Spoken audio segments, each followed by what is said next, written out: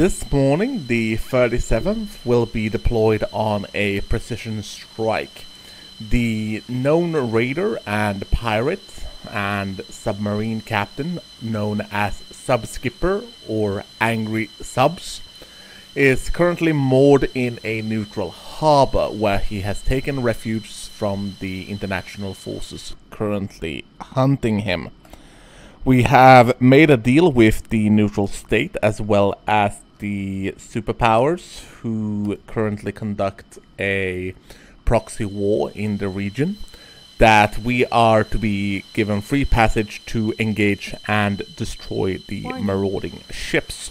Our weapon of choice for this mission will be the LS-6 guide, uh, glide bomb with the 500 pound warhead. This will be sufficient to destroy all four of the enemy submarines. Warning. The glide bombs will be guided to the target Warning. by a targeting pod. Warning. We will engage the data link and connect to the main tactical channel. Then we will be checking everything to make sure that we are good to go. And we are good to go. We will be departing the airfield at this time.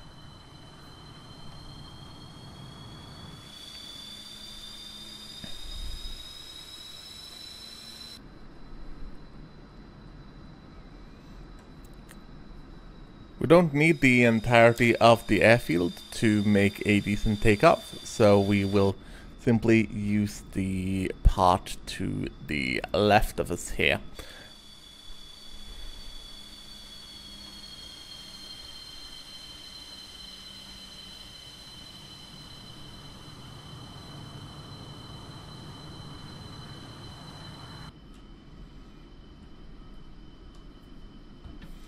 Full power to the engines.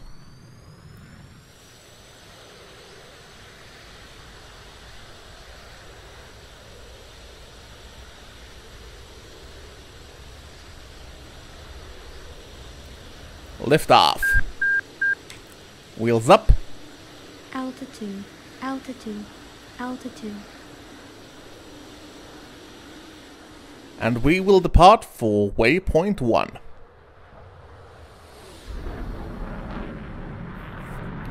We have arrived over the target area. Our targeting pod is online and weapons are in standby mode. We will be switching to the pod at this time. And we will be using the target of opportunity mode to guide our weapons onto the target. We will be uncaging the targeting pod and start our search for the submarine squadron that is our target. Once a submarine has been found, it will be engaged.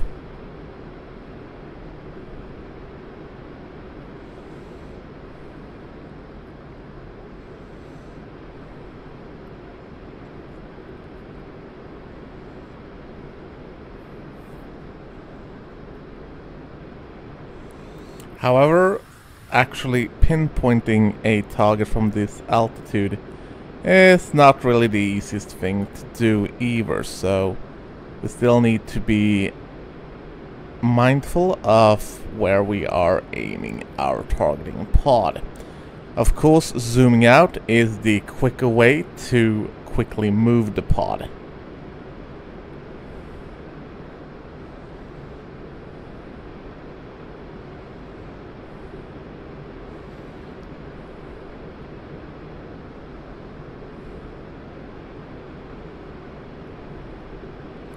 I think we got something. It's a dark shape at the end of the pier. Yes, confirmed. We will enter a shallow dive to make sure that the glide bomb has enough speed and sufficient power to go towards the target. We will also reduce engine thrust so the speed remains somewhat constant, even though it will be increasing through the dive.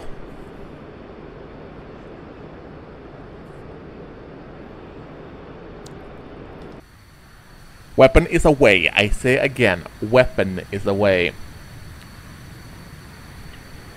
We are adjusting our course to come in for another run and retrimming the aircraft to compensate for the weapon deployment. The LS-6 is having an easy time with this target. It's essentially just a shallow dive right onto the objective.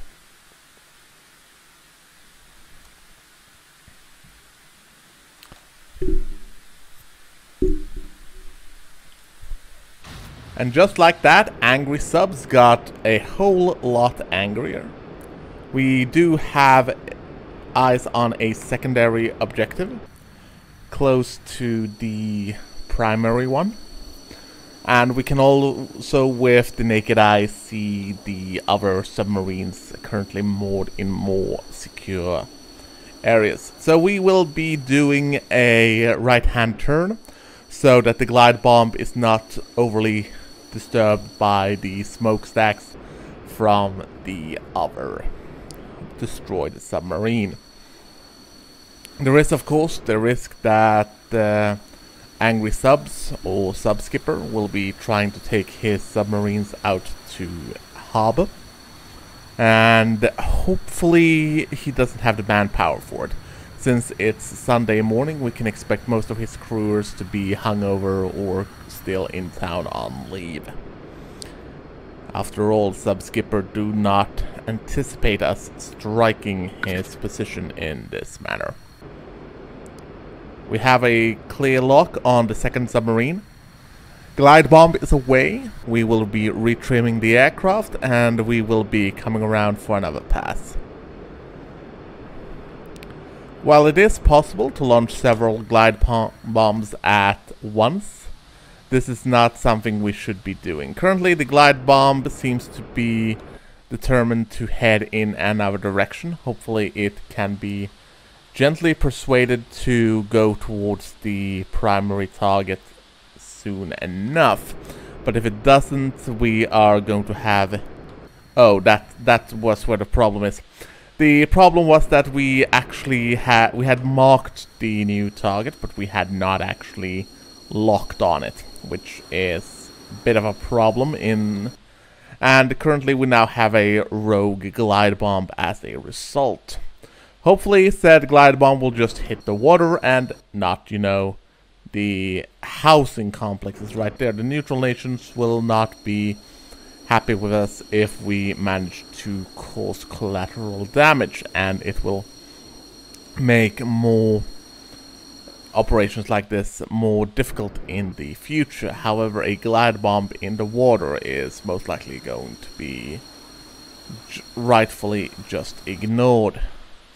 But it looks like it's heading towards the water for self-destruct, so we should be good on that.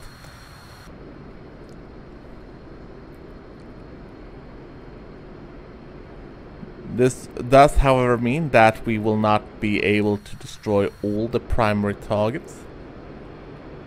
Locked. Weapon away. This means we will not be able to destroy all of the primary targets, but reducing Subskipper's uh, submarine force to one is going to be sufficient as long as we do indeed hit the rest of the targets as well. But the second, the third glide bomb is currently on target, so it will be yes. That is one less submarine for Subskipper. We'll be coming around and engaging the one of the remaining submarines.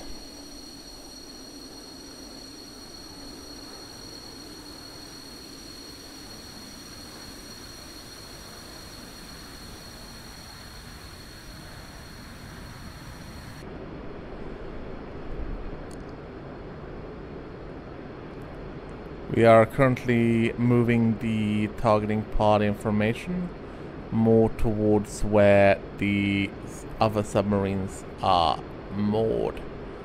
However, we did manage to move it a bit too much, so we will be moving it up. We have a lock, confirmed, Last glide bomb is away and we are heading back to base. All weapons has been expended. We'll simply have to watch through the targeting pod to see if the glide bomb will be neutralizing the target. Yes, the glide bomb has indeed neutralized the target. So that's three out of four submarines destroyed, and if Angry Subs was not angry before, he will sure as hell be so now.